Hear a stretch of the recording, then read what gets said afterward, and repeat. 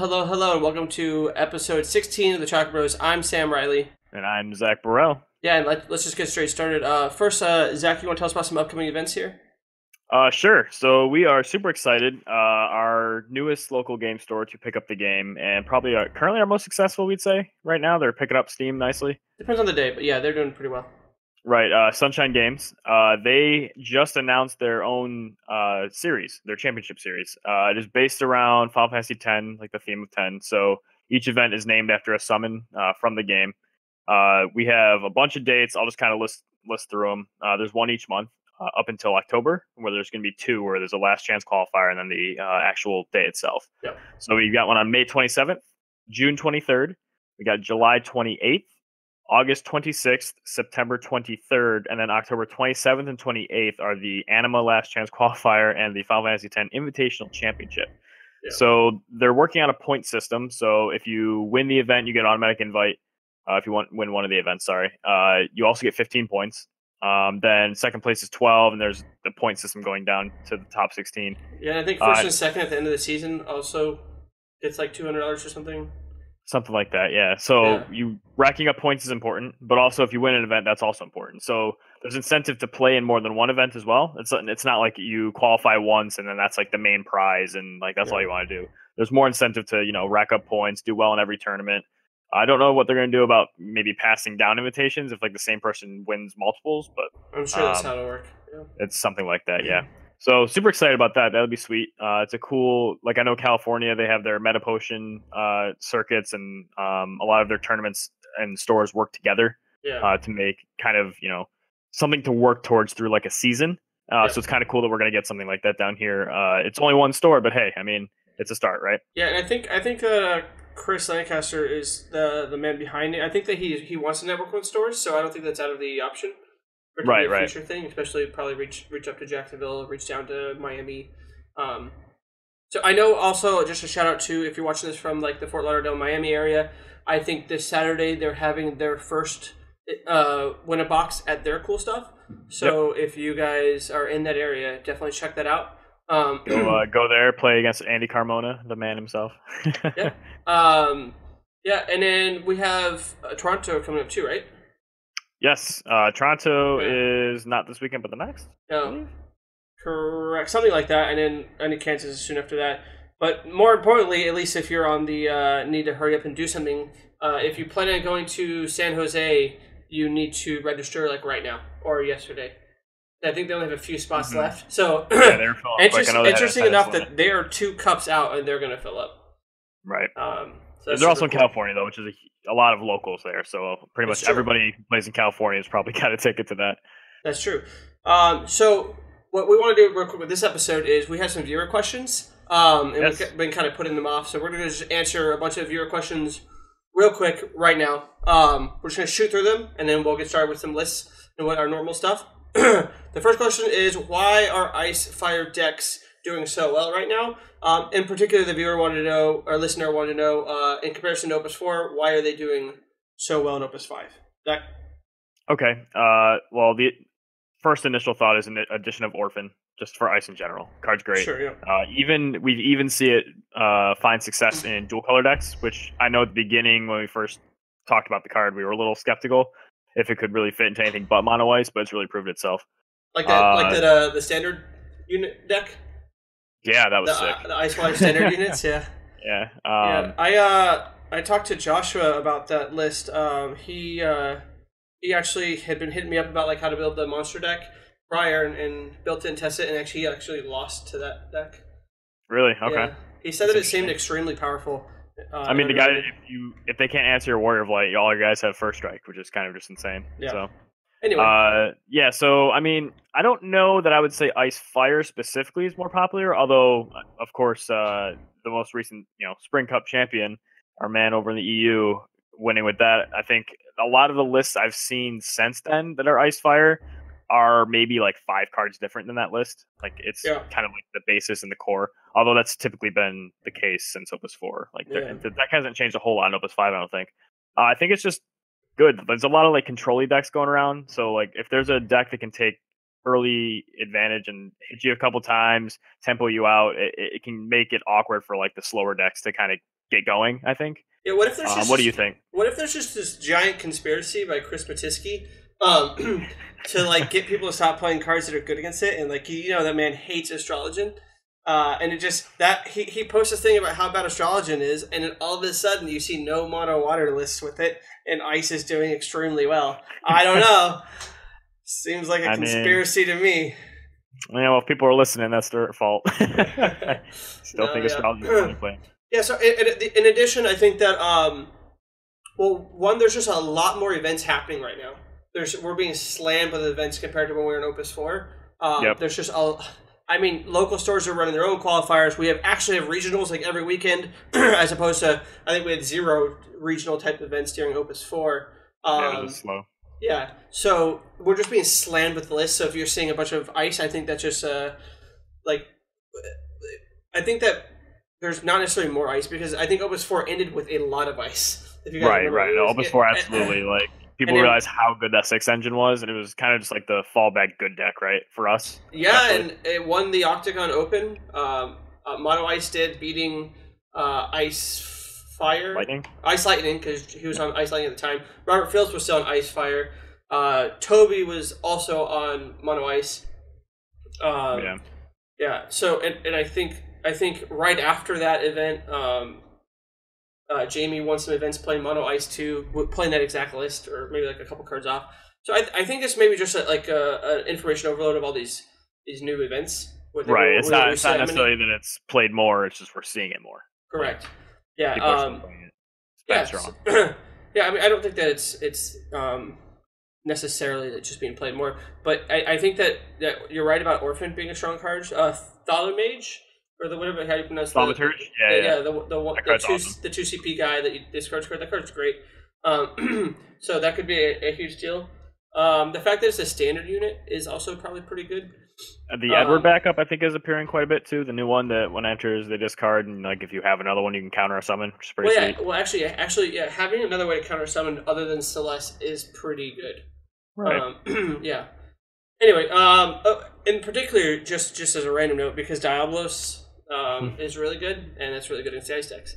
Um, yes. Another viewer question: Is Minwu a fair card? Um, isn't its existence stopping decks like Mono Fire from being played as much? Uh, yeah, it's definitely at one point in the game stopping Mono Fire from being played as much. That being said, I I don't think Minwu's in ninety percent of the water decks we're seeing. Really, honestly, not, yeah, yeah. Not even the mono water decks are playing Minwu. So no, it's it's not stopping it. Um, you have decks that are like dedicated to ping, um, like the deck that uh, Dan and Thomas uh, played um, and won their events with. I mean, yeah, like sure, it, can mill, but like it's it's dedicated to like pinging things off with like Al Cid and and Rygdea. Um, a lot of the Cactuar, the mill decks are doing really well right now. Um, mm-hmm. Those are all dealt with pings, and then you have you have, but those decks are just playing archers or Sephiroths to like handle that mini right. if it comes up. But only one archer, right? Like a lot right, of them one archer, archer, like, one eh, just in case like, I run into the person playing Minwu. But the, the, person playing Minwu because yeah, I, I don't see Minwu being played much at all right now. I think uh, there's been a lot of posts I've seen too. Uh, I'd say one or two a month probably about people who play Mono Lightning asking, "How do you guys beat Minwu as Lightning?" It's like, well, Lightning has a lot of you know power reduction and all that. Fire so, doesn't have access to that, so definitely I think it's getting pushed out a little. But I don't think the good quote unquote good fire decks uh, even really care that much. Like they're mainly just big dudes that like yeah. you have things like Xande. Like if if you if Minwu's stopping that 9k, you're in trouble anyway. Like if that 9k isn't big enough. uh, you have things like the new the Pain Train Vermilion uh, Bird. Um, Fire's just kind of big red, right? Like that's been the term used. Uh, it's kind of a magic meta term, but um, I don't think that we would see many more ping decks. I think lightning does the chunk like combination chunk damage uh better. Like okay. if you're gonna play a deck that's not scared of Minwu and like if Minwu is gone for some reason, like Lulu would be amazing. Cactuar with Orlandeau would be amazing. Um, like the Black Mage from Opus One, like all Lightning kind of capitalizes more off ping because it has a lot of those effects that say, well, if it's damaged, do a ton of damage or break it. Uh, whereas Fire's like, um, oh, also the other thing is Lightning. A lot of it is forward based. So like you maybe damage them, play Orlandeau, right? You play this 9k, kill your guy. or Al Cid, you get two bodies. In fire, a lot of it's like sacrifice my backup to deal four thousand to you. Play this backup that once will deal five k to two guys and then just stays here, doesn't break itself. Uh, so I yeah. think I definitely I don't think that it would necessarily change how fire decks are built, though it might. Uh, cards like maybe the heroic Firion would be played a little more because like his 4K on entry is kind of anemic. Uh, if it's you know if Minwu's around and he, then he's just kind of an okay forward. Um, so I think yes, it's probably pushing him out a little bit, but I don't think it's that big of a problem. I don't think we'd see too much change. Okay, so out of I think I think I look at seven lists here. Uh, three of them were playing Minwu. Uh, two of them had two. One of them had 3 uh, mm-hmm. uh, so the odds the odds are I guess like what for like forty percent or something like that that you're going to play against a Minwu, and depending if they even draw it. Um, yeah. Yeah. I don't think that Minwu is a fun card. To be fair. Um, probably not, but I mean, probably won't catch me playing a water deck without it. Um, yeah, it's I just mean, a nice safety net, right? Like it's it's it is, cool yeah. to play and like protect like, yourself.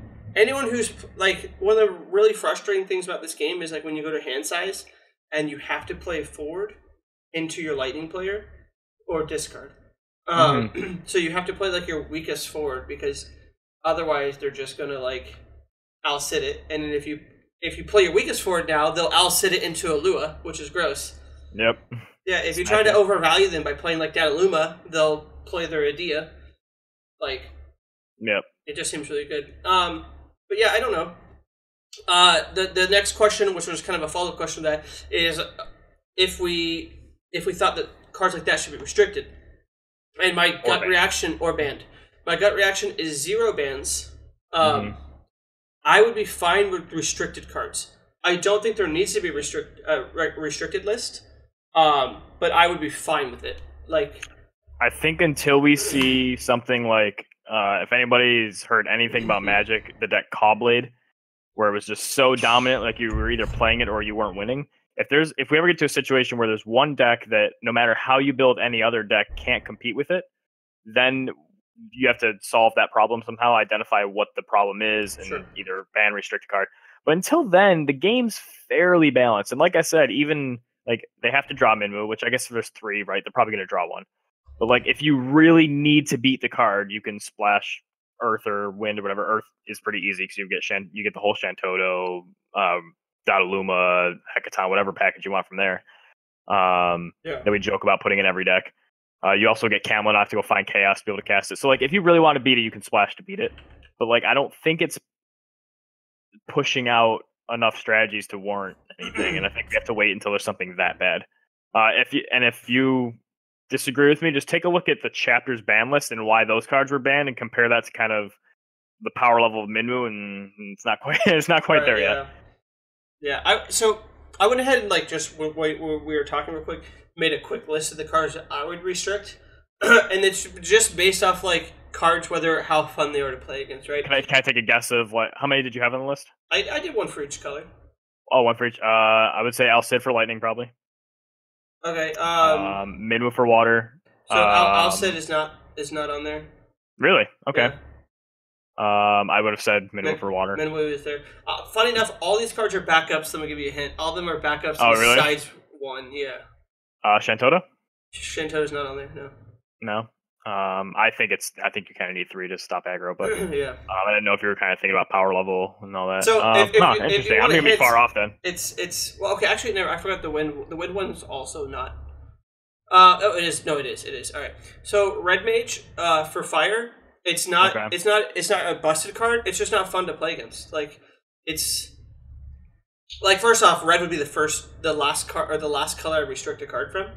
Right. Um, also, yeah, that card like doesn't care about Minwu. Like a lot of the sure, exactly combat based. Well, like imaginary brawler, Tifa, yeah, a, a, lot of fire doesn't. Yeah, um, I think Minwu it, it, hurts more lightning than it does fire. Yeah, something something I thought of earlier. It's not necessarily that it stops fire of the element from being good. I think it stops people from playing the type of fire they want to be playing. Like it's okay. they want to be yeah. comboing like these chunks of damage and like, oh, this is really fun, but really the good decks are the ones that just like below pass your guys, make them all unable block kind of thing.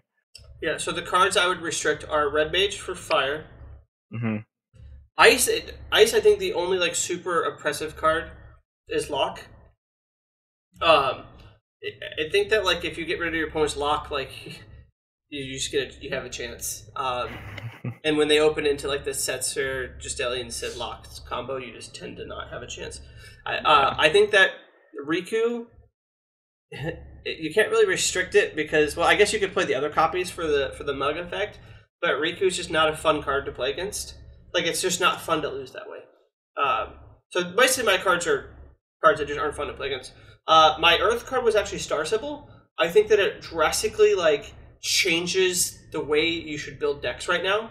Right. Um, spoiler: basically, you should all be playing Star Sibyl in all of your decks. Um, I think it's just like, I mean, I thought Shantotto was was good. I think Star Sibyl is better. Like when you guys were talking about best card last week, I just was surprised that you went with Cam, although it has to do with Shantotto and he went. And it's kind of like the payoff of Star Sibyl, right? Like, yeah, I think like I think a Star Sibyl just enables both of those cards just to be so good. In fact, maybe Cam's not even playable, or it would still be playable, but it's not nearly as good without Star Sibyl.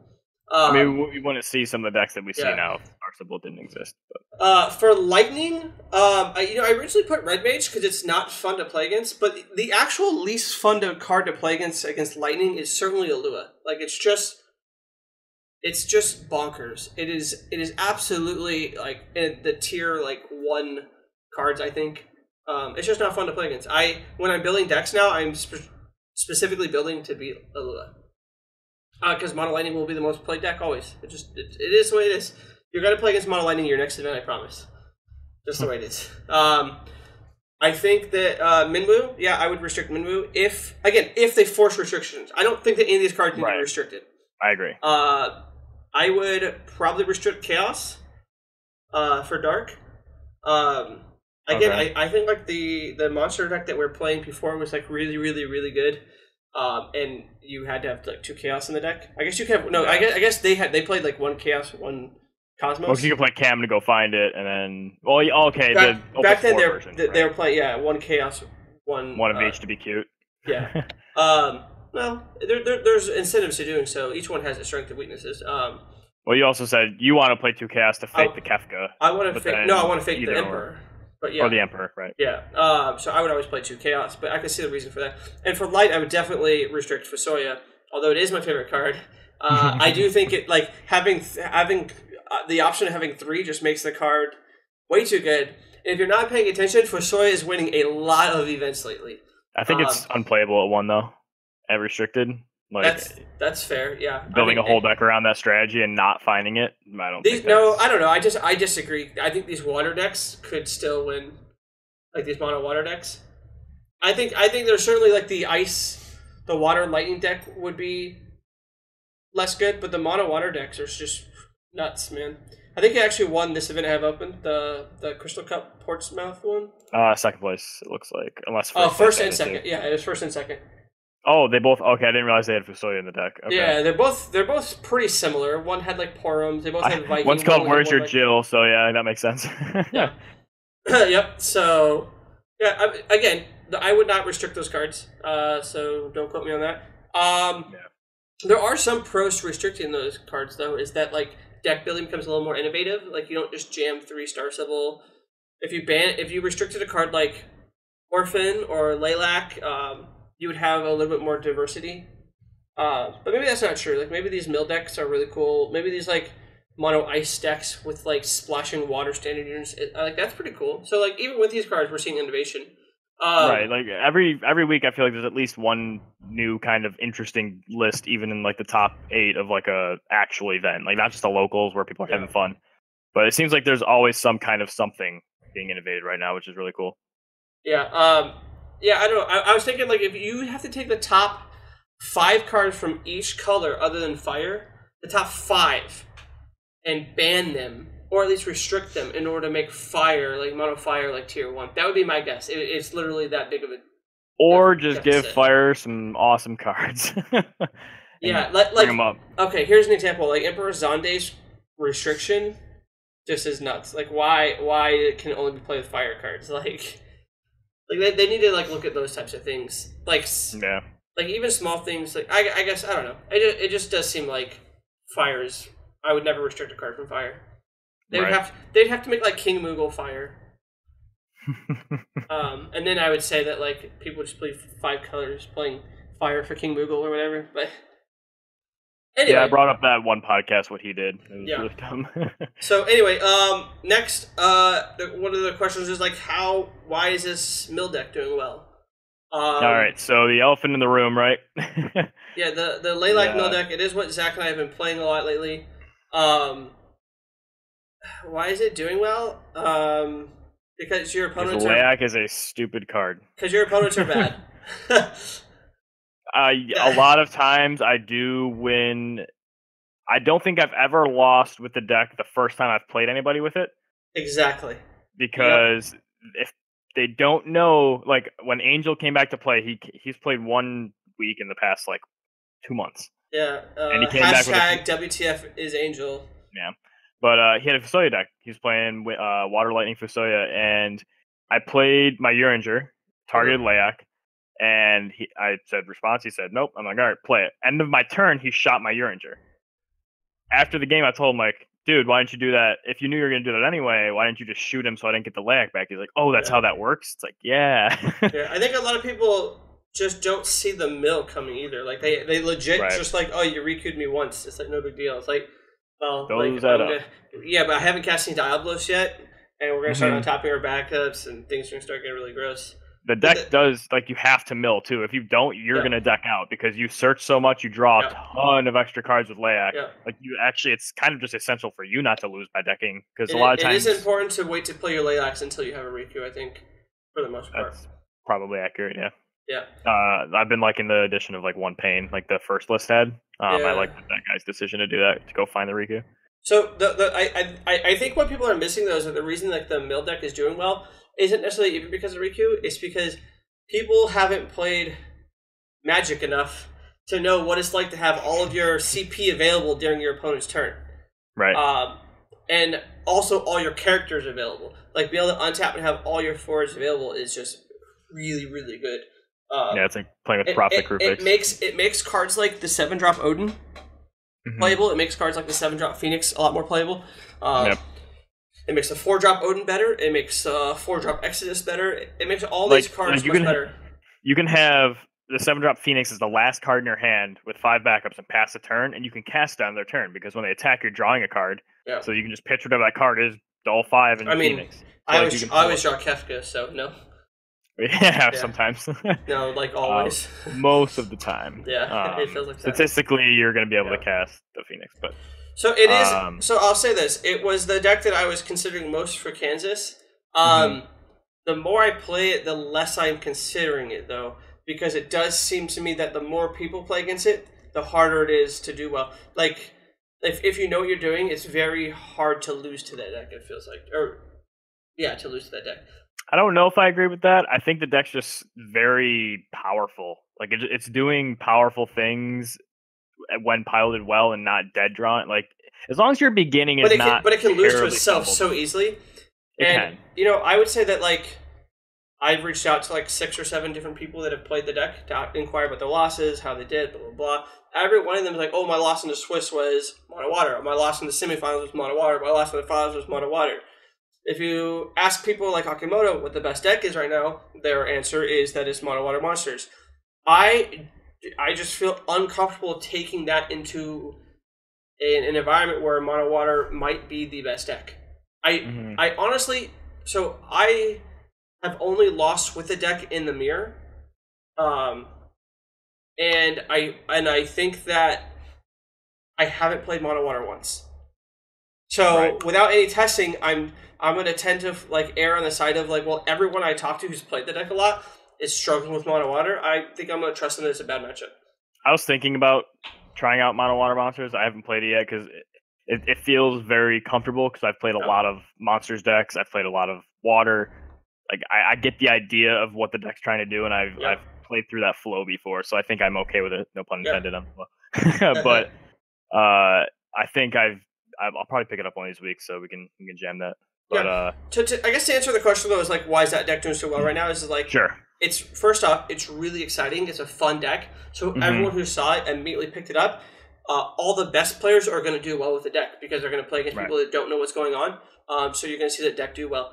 That being said, in an environment where you're looking to just top eight, it might be a fine deck. Uh, when you're looking to win a best of three to proceed to top four, or if you're playing in the the Indy or the California Cup yeah. where you need a top two essentially, um, then I yeah I taking that into the best of three format um, doesn't seem like a yeah. great idea to me. Actually, it's, you know, uh, actually the Crystal Cups might even be top sixteen cut, so you have to win two matches best of three before qualifying. Then, so it's like best of everything. I'd rather play a much more consistent deck like Mono Ice, Mono Lightning, Mono Water. Um, right. But I, I let's just say I do have it. You know, I don't know where it is. I think it's like right here. Yeah, I've got it within arm's reach over here. So. Yeah, it's not. oh, wow. I, I, do have it Focus. somewhere. Um, yeah, I mean, I, I have the deck sleeved mm-hmm. up, and I will like continue to test it.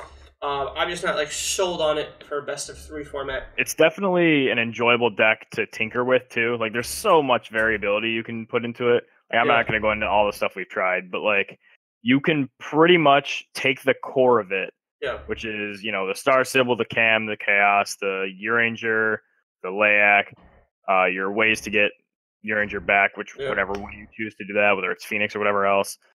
And then just put in fun cards that go well with them in those same colors, and you're probably going to find some success. like yeah, like I, I, being able to recur things so much. You know, Urianger get back Layak, or like something to get back Urianger like Phoenix, to, like on a list to get your Layak back. It's, just, it's the consistency and like that, just the constant synergy is why it's so powerful. You're there Monday, right? Yes. Yeah, I threw three Gal into the deck and four out our and, and four out our local deck. Yeah, no, Gal Gal seems sweet for it. Yeah, so like you uh, get, there's a, a, lot a there's a lot of room to play around with. Kinda. Yeah, there's a lot of room to play with. Um, and the uh, the I played the Lucid Dreaming deck in two events now. I undefeated the first one. It was only three rounds, though. It was very small locals. Uh, deck felt good. Uh, second event, uh, deck was still good. Um, I think I misplayed once or twice, but also and you made some I changes to it too. Nope, I didn't touch it. Um, oh, I, okay. I took no, no. I want to play at least two events with it. Without, I like to do two events okay. without touching a deck before I start tinkering. That's funny. Um, I, like, I, like, to do zero. I, I, don't think I've ever played someone's fifty. But the, I the whole time I was playing it, I was sitting there like, I just kind of wish I was, I had these other cards like like Dataluma. Yeah, like I wish I had Dataluma and Cactuar yeah. and like all these other tricks and like I think it's playing Diablos, but like it's not. No, it's not playing Diablos. Like I wanted Diablos. Like, uh, it it felt very good as a control, you know, Lulu control mill deck, but I just. Yeah, it's a cool deck. Yeah, it's it, it's different, yeah. but I definitely felt some similarity when I was. I think I might have misplayed it because I was trying to play it too much like the mill deck. Like I was trying to get the layak value, and maybe that just wasn't correct. Right. Yeah, I don't think it is. Like you're not. Yeah. Like getting back, getting getting back a Urianger with Fusoya is not like nearly as good as like getting back a Zidane Right. And just Zidaning them out of their answers. Oh, Mion and Zidane was the oh, dirtiest yeah. thing in the world. It felt so good. So we'll move on to uh, um, what are the types of cards you build around? Um, types that, or names? uh, I think both. I like for me, like I want to build around like cool cards that do interesting things, um, or powerful things. Like in the case, like I would like I want to currently build around Zemus a lot. Like I love not the not the backup, although that deck that thing that back was pretty cool, but like the Lightning Zemus and I want to build around cards like Lilac a lot. Mm-hmm. Like uh, in my Gao deck, I had three Flandits in my Lilac deck, and I would just be like, tap three Flandits, make a guy either pay three to attack, and they're like, okay, I'll pay three to attack. I'm like, untap my things, you got to pay three more to attack your other guy. Like, very good at popping Ilua too. Oh, yeah, Flanda uh, your Ilua. Oh, right. got countered. I was doing that quite a bit. so those are the, the, the, cool interactions. Like Flandit's a cool card I like to build around. I also like to build around really strong cards like uh, Cognazzo is you know always fun to build around. Vaughn. Right now, my wife is uh, playing like a, uh, a lightning fire deck that she has, I think, made the top cut of every event she's played in it with. Mm-hmm. Um, and I recently added Vontalis because the deck just has a lot of haste and like ways to like right. push through. It, yeah, it just seems like a like a really cool thing. So for me, I like like if I'm building a deck, I'm I don't I'm not taking like a bunch of cards and trying to build around them. Like for example, Wall. Wall is obviously like extremely strong, right? But like, it's not the kind of card that I want to build around. I, and I don't know. Mm-hmm. I don't know why that is. Um, whereas like Laylac is the kind of card I want to build around. Yeah. Uh, Cleone is the type of card I want to build around. um, like these cool little gladiator. You know, like these are the types of cards I will try to build around. My deck will usually have like 15 different combos that are like really bad, um, but maybe those combos are enough to like win my matches, and they tend to be. Um, right, right. Whereas like you know some of these other players are just playing very consistent good decks, and maybe that's the better place to be. Like maybe like we should just be playing Wind, Water, Jund, as Zach likes to call it. Um, yeah, right. Yeah, I don't know. What about you, Zach? I know you tend to play around some really bad cards yourself. I, I like to either build around a very powerful engine that's mm. maybe hard to set up. Like Archfiends, I've been a huge fan of in the past. Uh, if they get going, they can do very powerful things and kind of unfair things at times, like dropping Golbez for free. But I also like, I think I think I like playing decks that lose to Yuna H. Uh, things that constantly like you know they're dying, coming back. That like Scarmiglione is a card I've built around a lot. I've really enjoyed uh, playing that. Um, let's see, other like dumb effects like just like weird devout stuff where like I'm sacrificing things to devout it back again in the same turn and like just weird engines like that that accrue value over like critical mass. So like I get to a point where I just have this little interactive engine going that's gonna like grind you out. So that's actually why I like the mill deck, right? Because okay, it's yeah. that but good. uh, but no, Archfiends has been one. Um, singleton decks, that's fun, but that's not an actual thing. Uh, I'm trying to think of.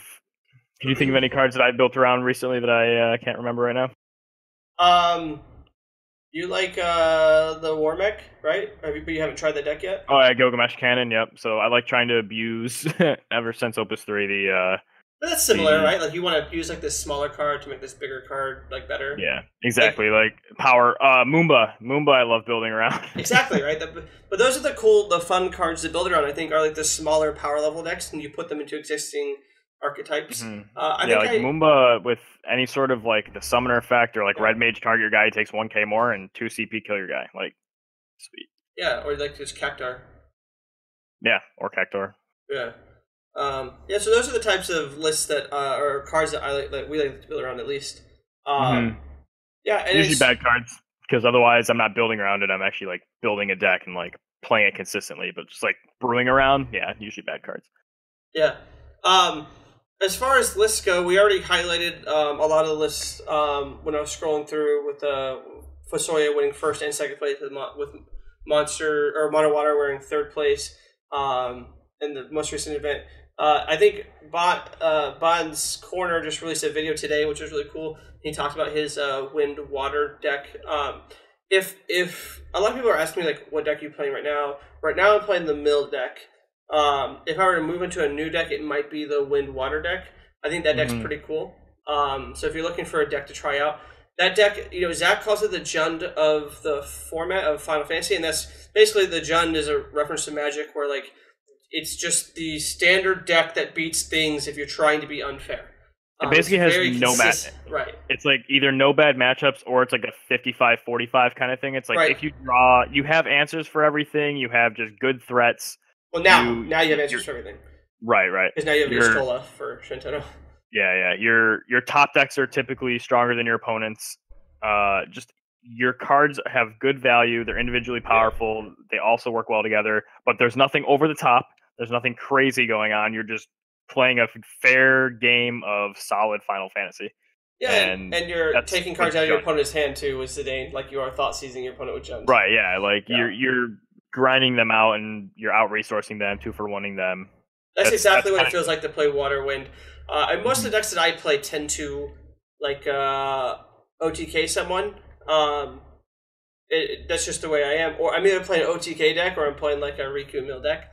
Oh, um, oh, also, like you just said uh, earlier, it it's the one that also kind of controls the unfair decks. So anything yes. that's trying to go too over the top, it'll just be like, okay, hit you with these guys. You're gonna try a player card. I'm gonna answer it, and then it has, it has Emperor, it has Zidane, it has Y'shtola. It has a whole bunch of ways to like stop you from doing your unfair things.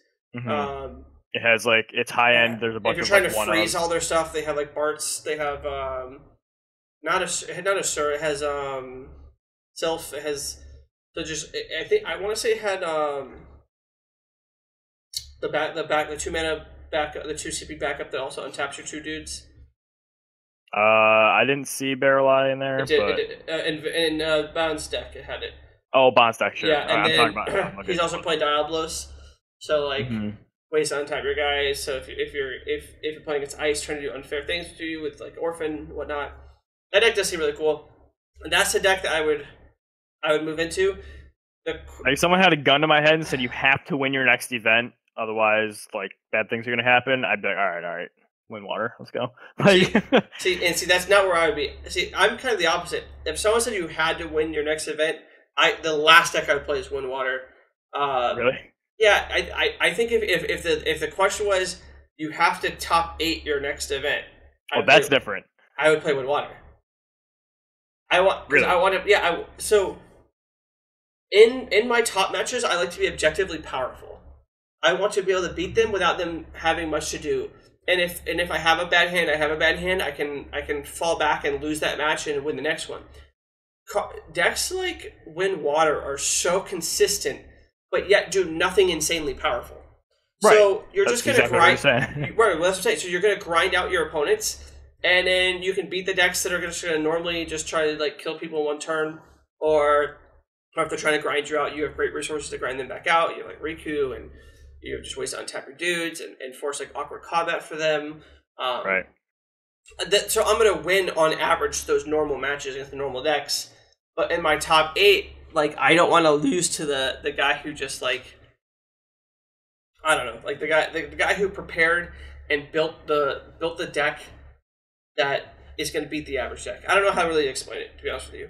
I would say it sounds like the opposite of what you were saying earlier, where it's like you want to be on something like Mill that's doing objectively powerful things, but you didn't want to play it in top either. Like, I don't no no no, but see that's the difference. I want to play something that does something like like Mill can be Mill is different than like okay for example in last last time in Kansas I played Golbez is something that I would play in it I would play in the event and would be comfortable in top eight because if they don't have it they don't have it like if they're Mhm. not playing the Uno or the Shantotto they just don't have it right you're just going to beat them um, uh, of course you can still lose you can still lose to like a well timed Shiva there's there's definitely ways you can lose I'm not saying that Golbez is broken but Golbez is the type of deck that I want to play even in a best of two situation because Right. like they, they just some of the sometimes they just don't have the cards to beat the Golbez, right?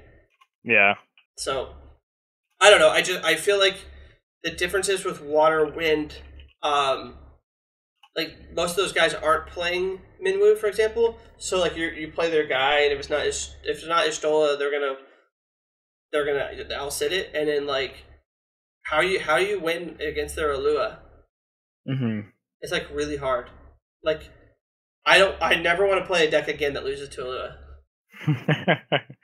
So fair. Yeah. So that's that's the thing. I, I, I think if Mono Lightning is the most played deck, like I will hope to just lose my one match to it in the Swiss and just but like if I get paired against it in the top eight or the top sixteen, like I'm just not being I'm not beating Alua in the best of best of three when they have Cid of Clan Gully and Alua or whatever. Like God Right, right. forbid they actually also have Adel. Like that card is the biggest heartbreak. Like you're, man, I got you ground out, man. You you can't get past my wall, and then they just go Adel, and you're like, all right, well, Yeah, I was. On the old on the old monster deck. I was actually at like uh I was at fifty two and two win rate or fifty four and two win rate. I was like really really good. I was feeling really good about the deck. Um, and then I just lost to like turn one Adel, attack you. Next turn attack you. Next turn make it so it can't be blocked. Attack you. Next turn play Vaughn, give it haste, attack you, and I was dead. I was just like, what the heck? like yeah so i just i i, I don't want to I, I think that wind water has a has a problem with the lua i don't know i, I could be wrong i could be wrong uh if you think i'm wrong tell me why i can't imagine i'm thinking about like the cards that like bond played for example like if you have cloud of darkness sure you can break the you could break the first trigger for free but like other than that, I would say like, the opposite. I was gonna say like maybe you had Tonberries and then Cloud of Darkness after or something. well it works well i'm saying you could you can attack with cloud of darkness to break it- Right. the shield for free but like maybe you're dead by the time you're attacking with your five drop Or you target it with Sylph to pop it, then play Cloud of Darkness, kill it. So you probably got three guys. Yeah, sure. It does Oh, play. four, 'cause they're gonna play Lulu. Yeah, I don't remember how many Sylph he plays, but sure. Yeah, I guess you could Two. you could Sylph his guy and then pop it with what your Diablos. Like how, yeah, kill like, with something. Yeah, exactly. Like, you still don't have like a clean way to kill it. Maybe like some of those guys are playing the unit Chaos Walker. Um, right. Yeah, I don't know. I guess my point is just like I don't want to lose to like Alua, and I think that deck does. But, right. Hmm. I don't know. I think I think Bond also see, he he knows more though. He he had posted that he thought he had a pretty good matchup against it, um, despite mm-hmm. losing to it, and I think he also did beat it. Um, but yeah, I just I just can't imagine. Like I maybe I just don't have the play skill to beat Alua. Plus, like if, if, you're playing like the um the Lucid Dreaming deck with Adel also, like I'm just, I'm never beating that deck. Right on Wind Water, you mean? Yeah. Yeah. No. Okay. I mean, I don't know that I've ever played Wind Water in an event. Uh, that. Yeah, maybe. I don't know. I yeah. I can't think. I mean, I've you lost played it. Water I've lost Monsters. to it a lot. Yeah, you played. You played I, Wind Water Fusoya back in Opus. I did. Okay, I did play Wind Water Fusoya. The yeah. end of Opus three before we were on like the three or four color one. I did. Yeah. No, and I played in Opus four. I was gonna play the Tampa Petite Cup, and I chickened out at the last minute. Uh, that's true. Yeah. So okay, yeah, that's true. I've played it when you add Fusoya and a bunch of cards that facilitate right. yeah. That was a cute deck. Anyway, do you have anything else to add? Uh, no, I think we covered all of it. We finally talked about the mill deck, and we've been avoiding talking about. yeah.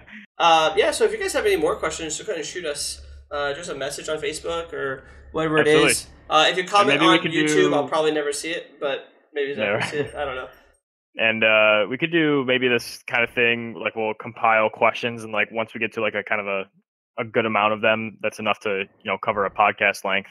Yeah. Uh, we can do this again, mm-hmm. like talk about what anyone else wants to hear, or just sound off in the comments. We can answer there. But, yeah, um, that sounds good. Yeah, no, this is fun. I like yeah. this. Anyway, uh, thanks for uh, joining us for uh, episode 16. Uh, we'll be back next week. Um, I don't think that we have a major event this week. Uh, so I, I don't think so. I will probably just tell you how Wind Water went for me because I think I'm actually going to try it. Um, right. Yeah. Until then, I'm Sam Riley. And I'm Zach Burrell. And we'll catch you guys later. See ya.